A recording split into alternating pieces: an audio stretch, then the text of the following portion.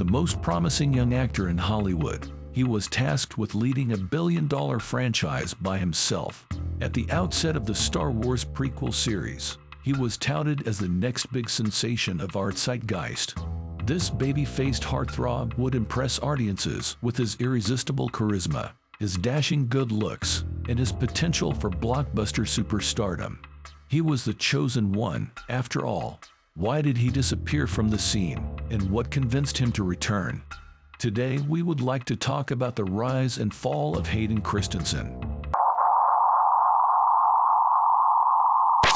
Vancouver-born Hayden got his acting start as a child on a Canadian soap opera called Family Passions, but quickly gained attention in the United States for his roles in some of our favorite childhood shows, including Goosebumps, Are You Afraid of the Dark, and the famous Jett Jackson.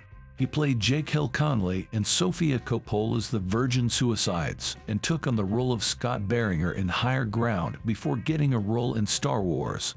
One often hears the opinion that George Lucas took someone he didn't even understand here. But although Christensen was not a famous actor in those years, he was considered quite a talented actor even before he was in Attack of the Clones. A year before the Star Wars premiere, the actor starred in Life as a House, where he received a nomination for a Golden Globe and was also nominated for the Screen Actors Guild Award. He was chosen to play Skywalker in the much-hyped Star Wars prequel trilogy a year later. He reportedly beat over 1,500 other candidates and even Leonardo DiCaprio in landing the role. And all this at the age of 20. George Lucas, who chose him in the casting, knew about all this and signed a promising actor, not someone by chance. But when Attack of the Clones was released, widespread anger fell on Hayden. Not only he but also Natalie Portman was destroyed. They criticized her too, but because she already had landmark roles under her belt, they insulted her less actively, primarily by saying that she could have demonstrated some deep-seated talent, but the script did not allow it. Even while the Star Wars prequel films received negative reviews from both reviewers and fans, they unquestionably had a significant influence on the box office. At the ripe age of 19, Hayden Christensen's world abruptly altered as he was pushed into the spotlight. He was inexperienced and as green as grass, unprepared for the storm that had suddenly encircled and cornered him. He was on his way to becoming an A-list actor, but he also suffered the wrath of the ardent fans of the movie series, who were unhappy with his performance and eager to disparage him whenever they could. To put it simply, everything was just too much. The meteoric rise to fame comes with its own share of challenges, the least of which is being recognized and valued for just one film credit.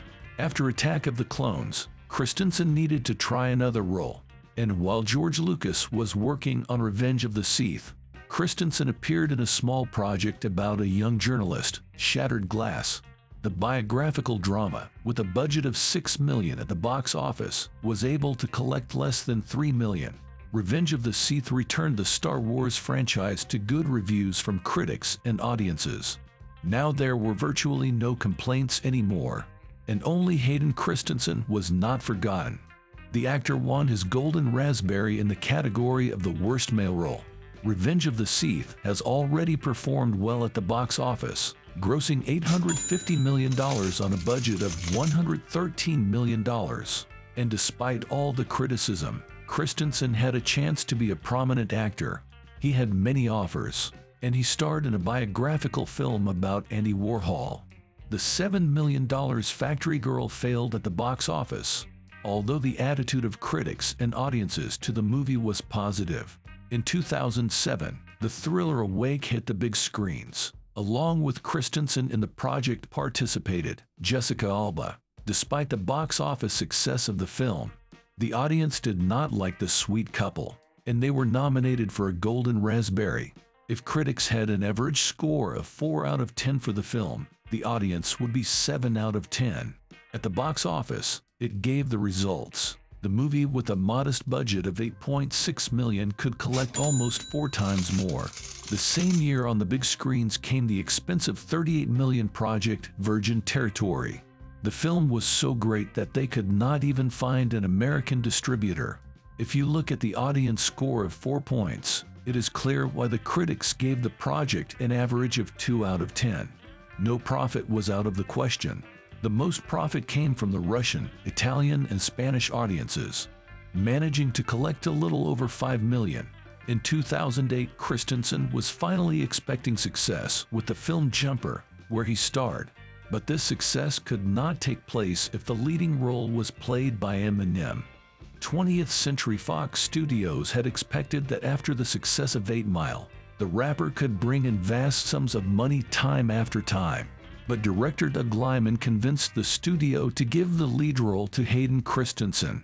Initially, Teresa Palmer was to have played in the movie, but because she and Christensen completely lacked chemistry, the producers quickly replaced Palmer with Hayden's girlfriend, Rachel Bilson. When the film was finally finished and shown to the test crew, Jumper was sent out for additional filming. Costs increased by 15 million, and the final budget was 85 million. The film was practically remade in the editing room, and these changes satisfied the test group. At the box office, there was a typical situation for action films. Critics destroyed the picture, while the audience was thrilled and voted for the movie with money. Jumper grossed $222 million. For a long time talked about a sequel, but the studio did not want to risk it and abandoned the idea. After this success, the actor continued to shoot, but each of his films stalled in production. In 2010, the actor appeared on the big screen twice. The painting vanishing on 7th Street quickly disappeared from all the radars, having collected a million dollars. Another film, Takers, can be called more successful, the film grossed $69 million at the worldwide box office on a budget of $32 million. The actor just decided to suspend his career and take a break. It needs to be clarified what the actor wanted to say. Was it to get attention, or did he need a break, or did he want to think about what projects he should choose in the future? If he wanted to restart his career this way, it could have worked out better. He came back in 2014 with two projects that were a little different from the films Christensen had done.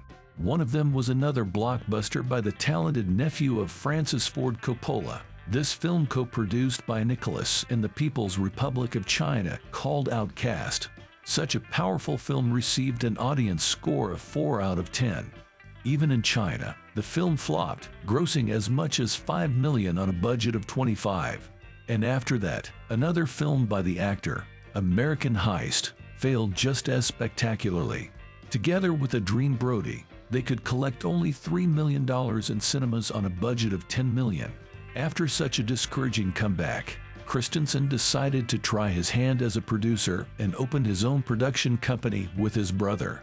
At this point, we would have only learned about Hayden Christensen from the end credits after watching the films.